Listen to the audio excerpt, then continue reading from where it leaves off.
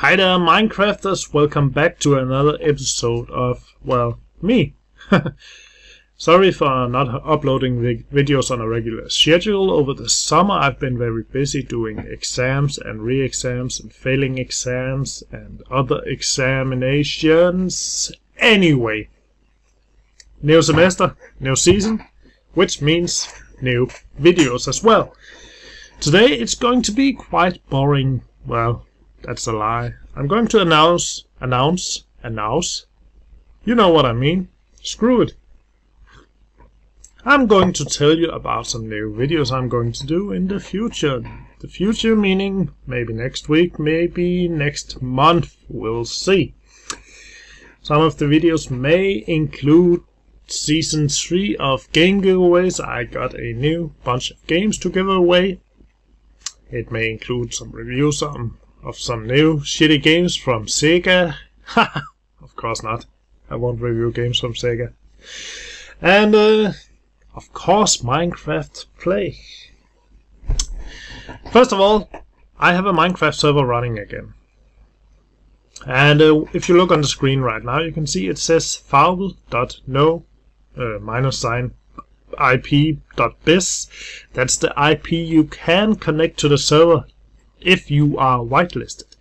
The lower one you can't connect to because that's the same server just on my local network. Anyway, this is the server. Well, this is my house. Very nice, yeah? Yeah, yeah. Okay, let's get out of here. It's raining. There's one mod you have to install separately on to be able to join that server, beside of course being able to uh, join by being whitelisted. The mod is custom NPCs. There is a link on the website with the same IP. I will link it in the description below the video. And thank you for that text. Furthermore, yeah, I've been playing a lot with my single player game. Anyway, as uh, said, furthermore, I intend to start streaming more. I have done a bit of streaming on Twitch, etc., and I, I actually find it a lot of fun. I find it fun to chat with you guys while playing, uh, and I think I could develop that a bit more. I was thinking uh, along the lines of uh, chatting with you while in game, maybe you joining me in a game, or maybe me joining you in a game. It doesn't have to be Minecraft. I have updated my Twitch page, so if you click onto the Twitch page, I will also link that in the description. There should be a relative new game list from my Steam library with games I play. Well, I think it's a couple of weeks old, maybe two or three weeks, but it's fairly recent.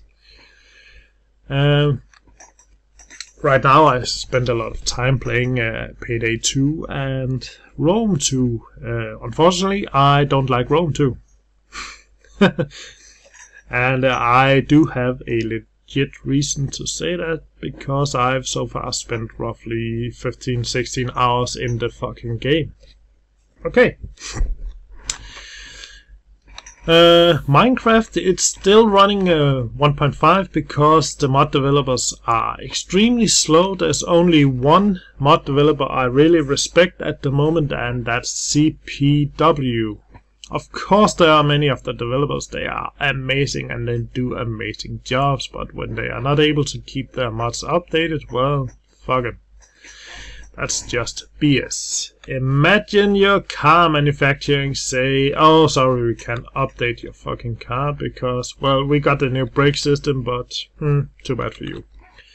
So, anyway. Oh, of course, I forgot to mention SirSengir and the guys on Buildcraft. Those guys are amazing. It's just as if you see uh, instantly when we get a new Minecraft, Forge is extremely fast updated. I mean, that's crazy. Sometimes there's a bit of delay, but that's that's natural. There will be problems because Dinnerbone is all about fucking the modding community, and uh, the mod developers they have to deal with that. And uh, I'm quite impressed the speed, the basic mods out. And uh, the mods we usually wait on in the Feed the Beast pack are usually the same. Just fucking cut them off. Cut and run. Because if they're late now, they're going to be late for 1.7. They're going to be late for 1.8. They're going to be late for 1.9 and even for 2.0. Even though maybe it's a, a whole year out in the future, I will guarantee you they will always be late. that really requires a change of mind to be able to suddenly be on time or at least be on the same time as some of the great mods such as Buildcraft and IC2. IC2 hasn't really had a official upgrade since well early this year but oh look at this IC2 items well volunteer work still works and if you feel like upgrading a mod don't worry about it just do it because really they aren't even allowed to mod the game so why the hell not Okay, well, let's uh, let's see. What do we have here? Well, we have here some uh, railcraft, some logistics pipe. We have a sewage production facility. Well, that's just cows walking around, shitting in holes, collecting the dung into this, generating some uh, fertilizer, moving the fertilizer along the red car conveyor, it's called, I was almost called a carpet, yeah, up into the deployer, fertilizer deployer. We have a sapling planter down there and a harvester. It's going to be sorted. And whenever tree is sorted, we get a signal on the red RedNet signal.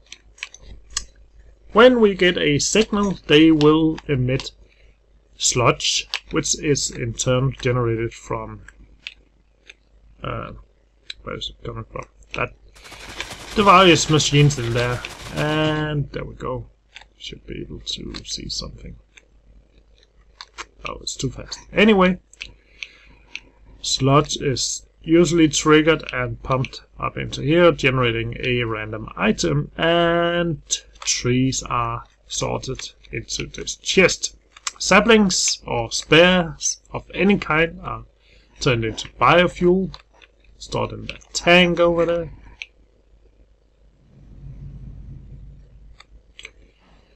Okay. Oh yeah, that's fine, fine. And then turned into power. We are generating enough, plenty of power, plenty of power.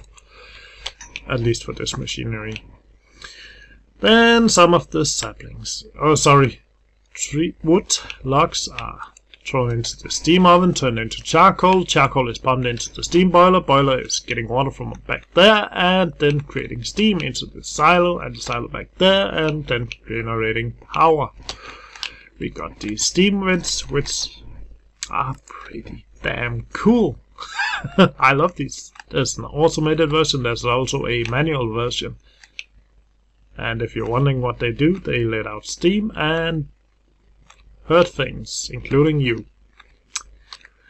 That's one of the machines. If you are a long-time subscriber slash follower on YouTube, you will know maybe last summer, a year, or maybe even two years ago, I made a fully automated chicken farm uh, using Red Power 2. Well, I've made a not automated chicken farm right now and this is using a mix of mod packs.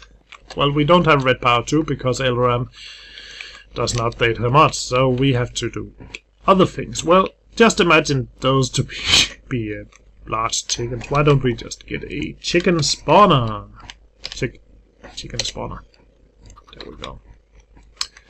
Let's get that in there somehow.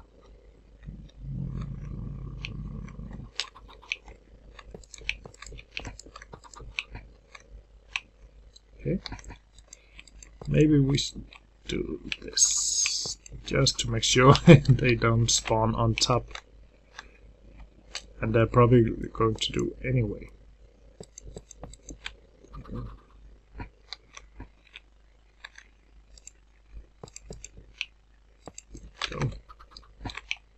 through it on the ground. Oh, I, I don't think they can spawn up there.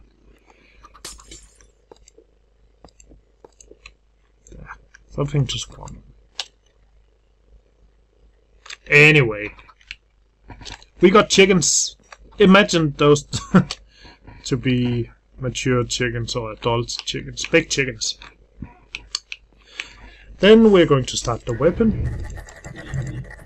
You see it's going back there. Then we're going to turn up the gate. Pow! And now we know there's a lot of things laying around here. So let's turn on the water. The water will then push the items down there and they will be sorted. Once they're down, turn the water off, turn the gate back down, enable the spawning. Up there we have a signal, a wave generator generating square waves and we are amplifying it into a digital, digital signal. That digital signal is going into that deploy as you can see. On, off, on, off. Easy. And we're getting new chickens. Eggs, of course, are also being sorted from down below. Another funny machine I have is uh, this one. I think I turned it on. Yeah, there we go. Just pumping out some random items. What we're doing is we're dropping them through this hopper. The hopper has a comparator right there which are turned into a analog signal. And you can see the signal right there on the screen actual signal it says. Then we throw it through a RedNet controller and we're just doing something as simple as greater than or equal. By doing that we are turning it into a digital signal meaning turning it on off on off this one actually represents the amount of items going through at the moment. This one represents if there are any items or not. So, when we turn this off, there we go, last one, notice the signal, bang, same here, only half a signal last time. That's turning signal digital into analog and vice versa. Here we just have a normal indicator. You can see there was a small bump indicating there was an item. Hmm, what else do we have? We have green screen, we have smelteries experimenting, and yes, it's possible to store all your liquid items, or items as liquids, and then just tap them out when needed like so. Custom NPCs, well that's something that's on the server and if you forgot the server IP, go to this website Vaupell.no minus sign ip.biz. There's no advertisements. If there is, let me know because I certainly did not add any. there you will see a video of how to install the mod. Anyway, there's items like a banker, a trader, and you can add up custom how you be, you be selling stuff, I matey. You can see you can set up a trade. And uh, I actually think I'm going to add that to the server. It's a lot of fun. Imagine this. You come onto the server, you found a ton of shitty items. But then we have a trader. He will trade you shitty items for shit some sort of shitty valuta or currency. Uh, there we go, spawn. We also have NPC guards, of course, female elves. What else? And uh, you can get items and maybe buy something better. This is just a spawn area. A small city where you should be able to be protected get help, send even hire an NPC to follow you along for a day or two, or something like that. And yes, it is possible with this mod. That is why I want it on my server, because it's a lot of fun. Only downside to the server right now, it is that it is installed on a pretty shitty computer. So there will be lag. There will be lag, but the lag is not caused by the internet connection. It's not caused by RAM, but it's caused by a shitty computer from, I don't know, 10 years ago or something. I already got a new computer right next to it, but I haven't set it up. It's standing right here behind me. That's the actual server.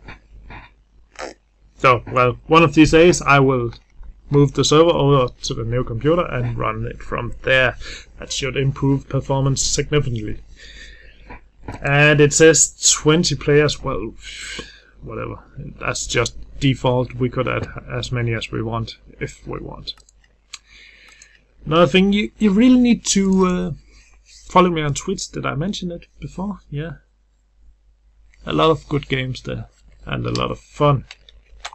My game giveaways for Season 3. I think it's going to be a mix of Twitch streams and uh, just videos on YouTube. In either case, I will always announce it on both Facebook and Twitter whenever it's done. We have a Facebook group and a page. So, like or do whatever you do with those and make sure you get alerted. Follow me on Twitter to make sure you get alerted when I'm giving away free games and how to be eligible for winning them. And I don't care what region you're from because the internet has no oceans. Oh, wait. The internet is one big ocean, there's no landmass. Right? Okay, guys. I think that's it. Yeah, you can see I got a bit of thing. Uh, I'm planning a few Minecraft videos soon uh, about doing some automated stuff in uh, Feed the Beast, just like the tutorials. Very short, very simple, just focusing on doing one thing uh, to help people get a better understanding on how things work. Uh, I get a lot of good response on that, and uh, so I think I'm going to continue with that. If you have any ideas on what to do, right now uh, I have a few items listed. One of them is mob farming, automated mob farming, and automated food. So I, I think that's meant to say generating food so you don't have to run around harvesting wheat or berries all the time. And uh, no, don't worry, it's not just going to be turtles. I like turtles, but I rarely do any videos using turtles because I like the mechanical part of Minecraft. I may, however, start using these guys because the RedNet controller, well, guess what? That's actually what I'm doing at the university. This is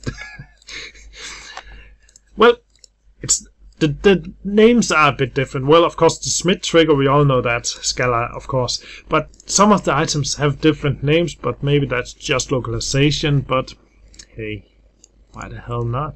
It's a lot of fun actually seeing things you do in real life in a game. I really love this. I'm so impressed when I first found them and I was like, what? Are you kidding me? why has I why have I never used those before? They're amazing. Anyway, guys, thanks for watching. Comment, rate, and subscribe. And remember, if you have any ideas on on topics to bring up or something to do on Twitch while streaming, join you in a game, you could join me in a game, something like that. And if you have any specific game ideas, head over to the Twitch. I got my Steam list there, so you can see what games is up. And yeah. And yes, one final thing. I am playing Seven Days to Die, the new zombie slash Minecrafty thingy. It's uh, early alpha. It's not great, but it has a potential to be extremely great. Um, Thanks for watching, guys. See you next time. Bye.